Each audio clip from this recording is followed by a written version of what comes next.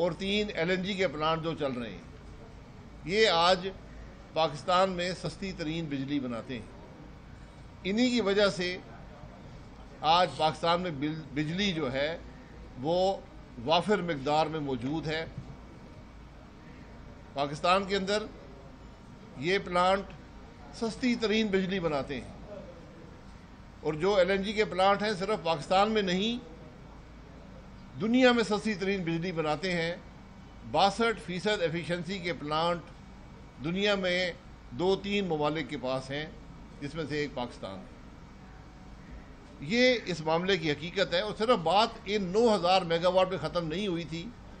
इसके अलावा 7000 मेगावाट के अजाफी प्रोजेक्ट ये शुरू किए गए या मुकम्मल किए गए उनमें नीलम झेलम के तकरीबन 1000 मेगावाट हैं। तरबेला फोर है, जो 1500 मेगावाट का है। न्यूक्लियर के दो प्लांट हैं, कैनप के अंदर, जो आज चल रहे हैं। एक चल पड़ा है, एक अभी चलेगा। थर के अंदर 600 मेगावाट का कोल प्लांट चल रहा है। चश्मा थ्री एंड फोर, ये उसी दौर में मुकम्मल हुए 700 मेगावाट ये दे रहे हैं। नंदीपुर का प्लांट, जो मुशर्रफ के ज़माने में शुरू हुआ था, नौ साल से तातुल का शिकार था 500 मेगावाट उसको मुकम्मल किया गया 500 मेगावाट वो दे रहा है। गुदू 747 जो उस वक़्त सबसे एफिशिएंट प्लांट था पाकिस्तान का, साढ़े सात सौ मेगावाट ये दे रहा है। तो ये सात हज़ार मेगावाट के प्लांट ये मुकम्मल हुए उस दौर में। इसके अलावा और भी न्यूक्लियर प्लांट्स को कमिटमेंट किया गया है, जो आइंदा चंद सालों में मुकम्मल होते रहेंगे। एलएनजी आने से जो मुल्क के प्लांट बंद थे, वो सारे के सारे फिर चल पड़े, जिसमें एक वफाकी वज़ीर साहब का प्लांट है, जो साढ़े चार सौ मेगावाट प्रोड्यूस करता है और सिर्फ़ एलएनजी पे चलता है। एक फौजी कबीर वाला का प्लांट है, डेढ़ सौ मेगावाट का, वो भी सिर्फ़ एलएनजी पे चलता है। एलएनजी ना होती, ये दो प्लांट ना चलते।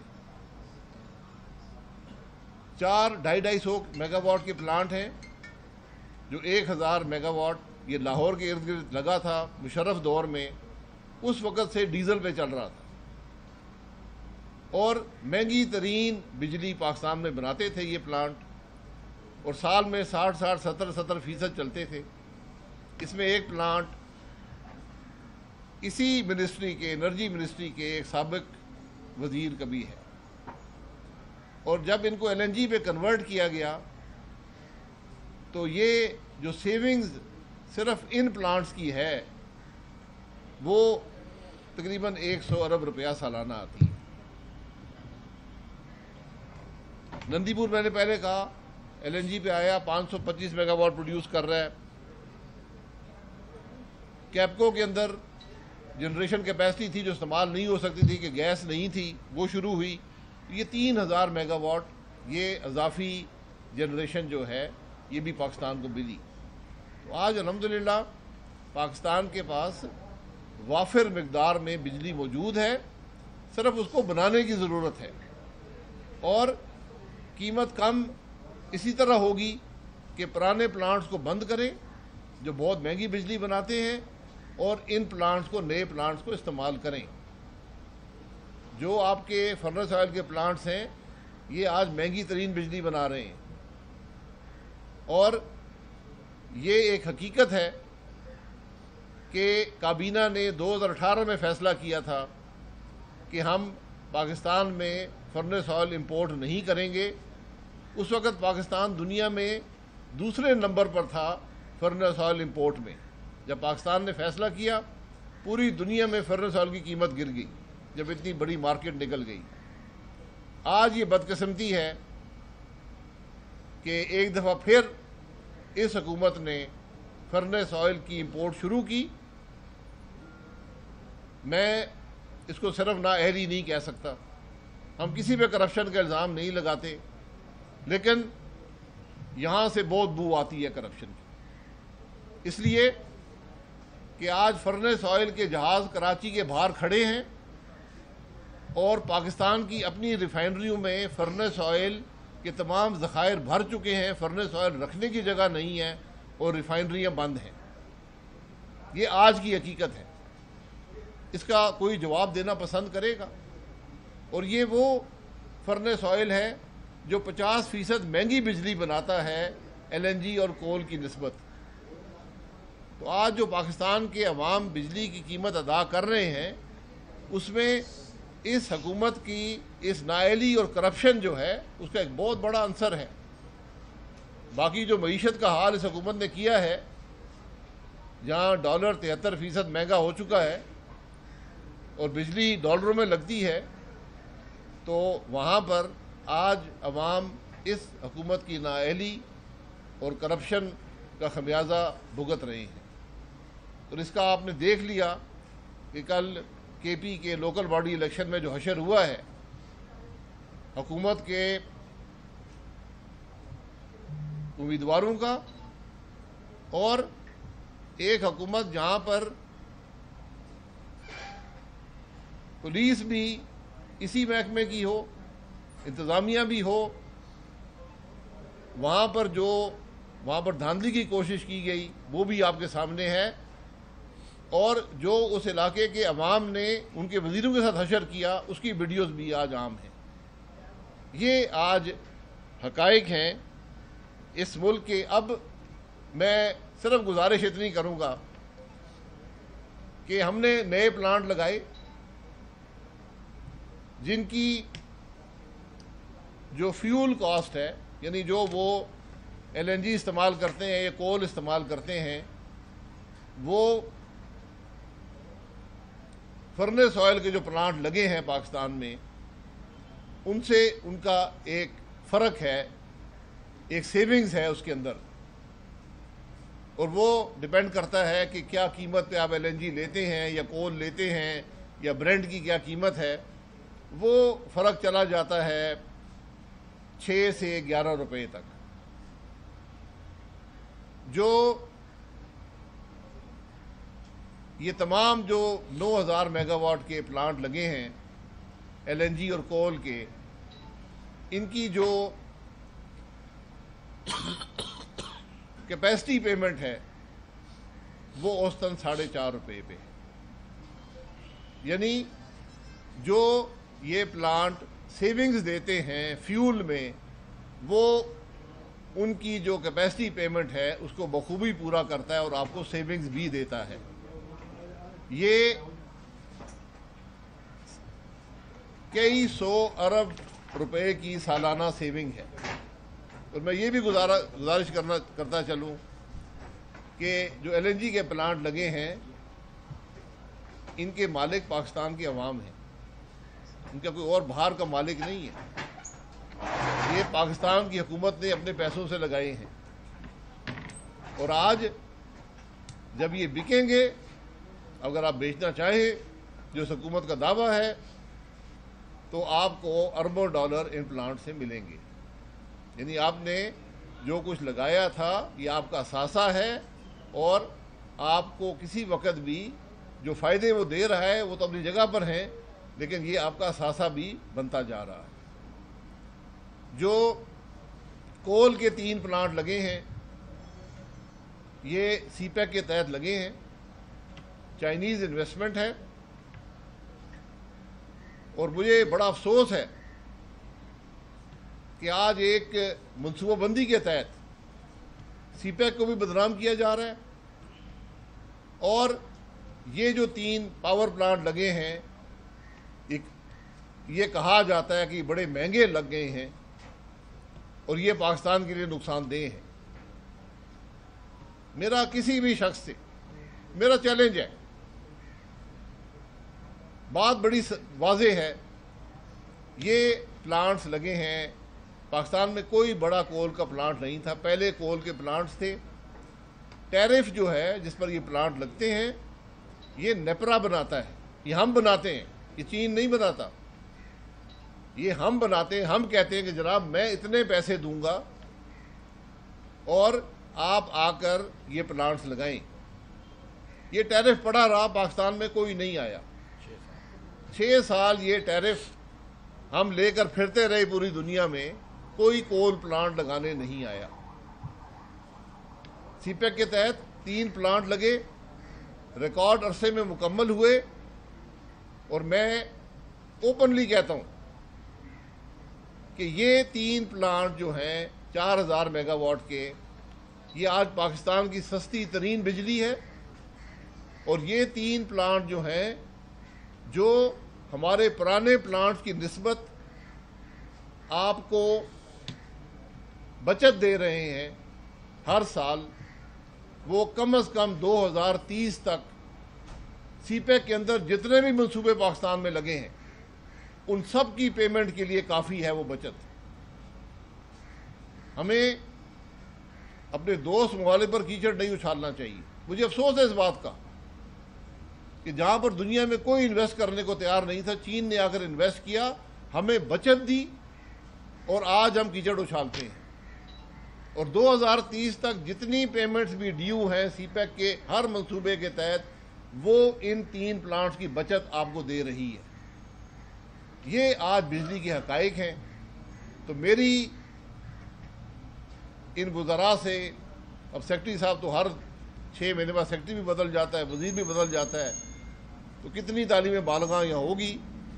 लेकिन ये एक हकीकत है कि आज हमें सोचना चाहिए कि किस तरीके से हम पाकिस्तान के अवाम को बिजली की कीमत कम सतह पर दे सकते हैं। इसके तरीके हैं। सबसे बड़ा तरीका ये है कि ये जो आपके पुराने प्लांट हैं, जिनको आज आप फर्नेस ऑयल इंपोर्ट करके चला रहे हैं, क्यों चला रहे हैं, समझ से बाहर है। इन प्लांट्स को बंद करें। ये इस मुल्क की मीशत की तबाही का बायस हैं। अगर आप अपनी नाहली और करप्शन की वजह से एलएनजी नहीं खरीद सके, और जो लोग तेरह फ़ीसद के माहों को पर इल्ज़ाम लगाते थे और आज खुद चालीस फ़ीसद के शिप खरीद रहे हैं, उनके पास कोई जवाब है? ये वही लोग हैं जो कहते थे मुल्क में एलएनजी की कोई ज़रूरत नहीं थी। हम पे केस बनाए गए। आज भी नैब में केस चल रहे हैं। हमें केसों की कोई परवाह नहीं है, क्योंकि हमने अल्हम्दुलिल्लाह इस मुल्क की खिदमत की है, मुल्क के मसाइल को हल किया है। तो मैं तो हमेशा कहता हूँ कि आपने केस चलाने हैं तो अदालतों में और तफ्तीश में कैमरे लगाएँ, पाकिस्तान के अवाम को दिखाएँ। मैं चेयरमैन साहब को सौ दफ़ा कह चुका हूँ, तुम्हें हिम्मत है तो आओ सामने। अगर बताओ कौन सी करप्शन हमारी हुकूमत में हुई है। पाँच साल में एक करप्शन बता दें मैं जिम्मेदार हूँ। हमारी जमात जिम्मेदार है। आज हर मामले में करप्शन का स्कैंडल है। ये कराची के बाहर शिप खड़े हुए हैं। फर्नेस ऑयल फर्नेस ऑयल इस्तेमाल की जगह नहीं है। रिफाइनरियाँ बंद हैं। उनके जखायर भर गए ये एक्सपोर्ट कर रहा है। ये आज मुल्क की हकीकत है। को एक्सपोर्ट भी कर रहा है जी। इंपोर्ट भी हो। रहा है बल्कि एक रिफाइनरी जो है वो यहाँ से फर्नेस ऑयल एक्सपोर्ट करने की कोशिश कर रही है। और हम, ये वही चीनी वाला मामला है। यहाँ चीनी थी नहीं एक्सपोर्ट शुरू कर दी। कीमत महँगी हो गई अब इम्पोर्ट करनी शुरू कर दी है। तो नाअहली और करप्शन के ये वाज सबूत होने के बावजूद आज नैब भी खामोश है, आज एफ़ आई ए भी खामोश है, आज अदालतें भी खामोश हैं। लेकिन अवाम खामोश नहीं है। हशर वो होगा जो कल के पी के अंदर बल्दियाती उम्मीदवारों का और वजीरों का हुआ है? जी एक और बात हुई कि ट्रांसमिशन नहीं है जी मुल्क में। ट्रांसमिशन कैपेसिटी पीएमएलएन ने नहीं लगाई। मैं पूछूँगा पूछना ये चाहता हूँ क्योंकि वज़ीर मसूफ वकील हैं तो वो हर किस्म के दलाइल देते हैं। चाहे शेर हो पैर ना भी हो तो दलाइल ज़रूर दे देते हैं। तो बात यह है कि कभी आपने कोई ऐसी बिजली बनाई है जो आप पहुँचा ना सके हो, जहाँ पर डिमांड थी? ऐसा कुछ भी नहीं है। और साढ़े तीन साल आपको हो गए, अगर कोई कमी सी पूरी कर देते। ट्रांसमिशन लाइन तो छः महीने में मुकम्मल हो जाती हैं। वो तो हमारे यहीं पे सब कुछ बनता है। तो इसका भी कोई जवाब नहीं है। फिर जो सबसे मज़े खेज बात की जाती है कि ये टेक और पे, यानी आप कहते हैं कि आप प्लांट लगाएँ मैं आपसे बिजली जो बनाएँगे, जब मेरी ज़रूरत होगी, मैं आपसे ख़रीद लूँगा और आपको कैपेसिटी पेमेंट करूँगा। ये पूरी दुनिया का निज़ाम है, पाकिस्तान में भी यही है, पूरी दुनिया में यही है। तो इस हुकूमत का दावा है कि टेक एंड पे होना चाहिए। यानी आप प्लांट लगाएँ, मैं आपसे बिजली खरीदूं या ना खरीदूं। तो मुझे कोई ऐसा बंदा ढूंढ दें जो ये काम कर सकता हो कि यहाँ पर आके अरबों डॉलर इन्वेस्ट करे और आप उसे बिजली ना खरीदे, वो प्लांट लगा के बैठा रहे।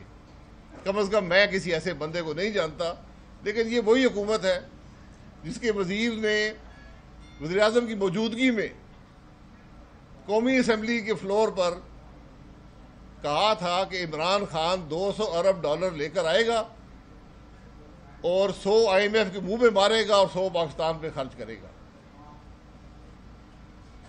आज आईएमएफ हमें थप्पड़ मार मार के इस मुल्क की आवाम को निढाल करके महँगाई का बोझ डालकर हमें छः अरब डॉलर देने को तैयार नहीं ये इस हुकूमत की हकीकत है। जनाब, सवाल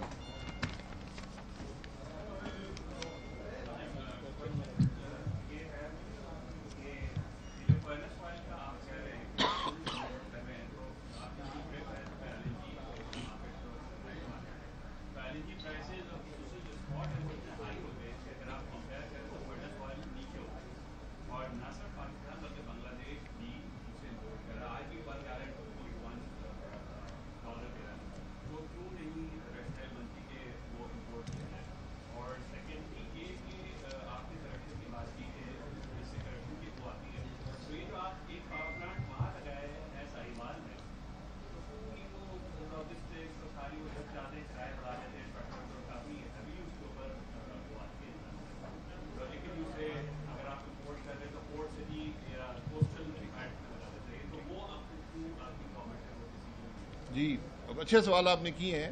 साहिवाल का जो प्लांट लगा है लोड सेंटर के करीब है। आपको ट्रांसमिशन लाइन नहीं डालनी पड़ती। जब आप ट्रांसमिशन लाइन के खर्चे और लॉसेस डाल दें तो वो प्लांट आज भी इतना एफिशिएंट है जितना कराची में प्लांट लगाकर वहाँ पर बिजली ले जाना था। क्योंकि आप को शायद ये इल्म ना हो कि पहले आ, के इलेक्ट्रिक इंपोर्ट करता था कराची इंपोर्ट करता था बिजली अब कराची से बिजली एक्सपोर्ट हो रही है। तो वो इतना ही इफ़ेक्टिव है। दूसरी बात जो है कि एलएनजी में आपकी नाकामी ये है कि आपने कोई कॉन्ट्रैक्ट नहीं किया। हम आठ शिप्स के मीडियम और लॉन्ग टर्म कॉन्ट्रैक्ट करके गए थे। चार शिप्स की कैपेसिटी आपके पास थी। आपने कोई कॉन्ट्रैक्ट नहीं किया। तो आज भी अगर आप पाँच या दस साल के कॉन्ट्रैक्ट करें तो वो आपको बहुत सस्ते मिलेंगे। वो आपको फर्नेस ऑयल की कीमत से कम मिलेंगे।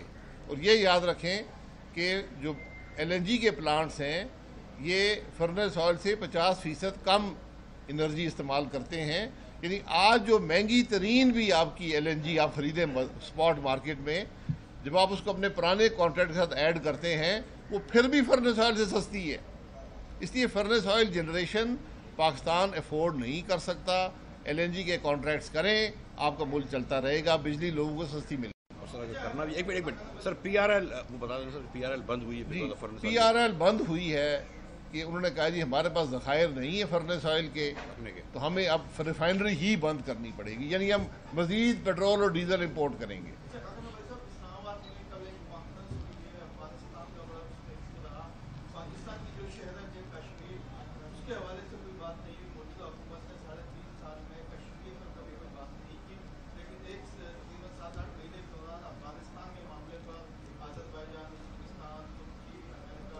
मेरे भाई।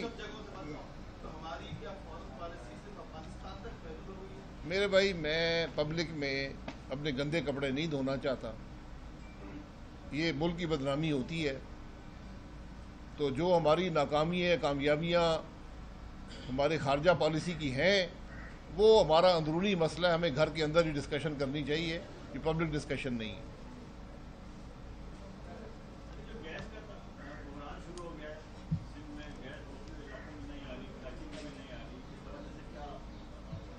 ये हम एक रहता प्रेस कॉन्फ्रेंस करेंगे, गैस का मसला क्यों पैदा हुआ, इसका हल क्या है, हम हल देकर गए थे। इसका हल सिर्फ़ एलएनजी है। अजाफी गैस आपको चाहिए। पाकिस्तान की 50 फ़ीसद से ज़्यादा प्राइमरी एनर्जी गैस है। आपको अपने एनर्जी का हल चाहिए तो एलएनजी इंपोर्ट करें। और मैं हैरान हूँ जो आज वफाकी वज़ीर हैं, वो कहते हैं जी एलपीजी सस्ता, सस्ती पड़ती है। जो सिलेंडर की गैस है फरमाते हैं, सस्ती पड़ती है। सिलेंडर की गैस एलएनजी से कम से कम दुगनी सतह पर होती है। यानी जो लोग, मैं खुद अपने गाँव में एलपीजी इस्तेमाल करता हूँ।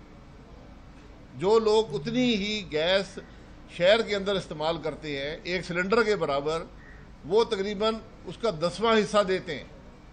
एलएनजी अगर आप इस्तेमाल करें, वो भी आपको आधी पड़ेगी। तो आज घर के फ्यूल का हल भी एलएनजी के अंदर है।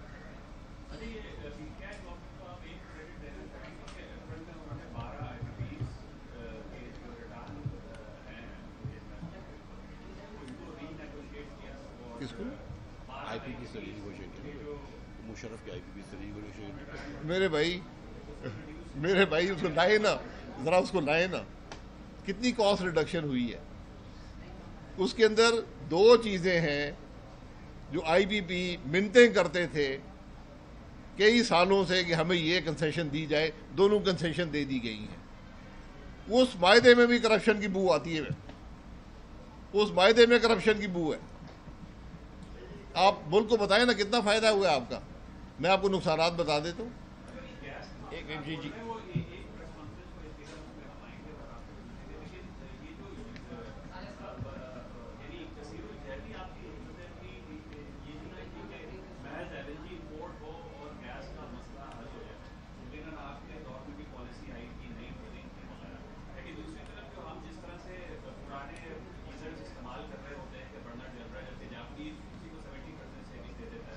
इसी तरह अ, जो चूल्हे की बात है या जो और इक्विपमेंट की बात है गीजर हो गया हीटर हो गया ये सारे को आ जाते हैं तो इन एंगल्स के ऊपर क्यों नहीं ध्यान दिया जाता कि सेवेंटी परसेंट अगर gas certain kind of equipment के ज़रिए सेव हो सकती है तो वाई डोंट प्रॉफिट मच देखिए वो वो market based market based market based economy है।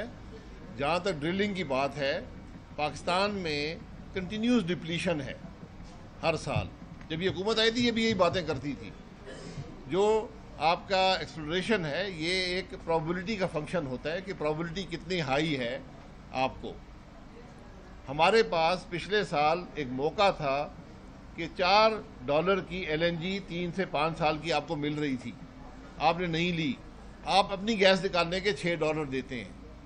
पाकिस्तान से इस वक्त सवाए एक फॉरेन कंपनी के और एक चाइनी हांगकांग की कंपनी के तमाम कंपनियाँ जा चुकी हैं। ये इस हुकूमत की जी? चार डॉलर की एलएनजी आपको तीन साल और पाँच साल के कॉन्ट्रैक्ट्स पे। जी? पूरी दुनिया कर रही थी। ये मार्केट थी उस वक्त। अगर आप मार्केट में जाते, आपको ये कॉन्ट्रैक्ट मिलते। मैं आपको सबूत भी दे दूँगा।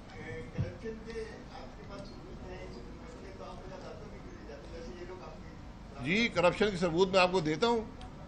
इनको डालें जेल में, जिस तरह हम गए थे। इनको डालें नब्बे दिन नैब में, मैं देखता हूँ आपको जो करप्शन मिलेगी। हम तो भुगत आए हैं ना। ये ज़रा मुझे, ये एक दिन को नहीं गुजार सकते। जो डाके हैं, वो आपके सामने पड़े हैं। आपके आपके सामने आपको नज़र नहीं आ रहा कि पीआरएल क्यों बंद है? आज शिप क्यों बाहर खड़े हुए हैं फर्नेस ऑयल के? ये ये सबूत है ना? ये सबूत होता है। काबीना का फैसला था, पाकिस्तान फर्नेस ऑयल इम्पोर्ट नहीं करेगा। क्यों आपने काबीना का फैसला तोड़ा है? इसका जवाब दें।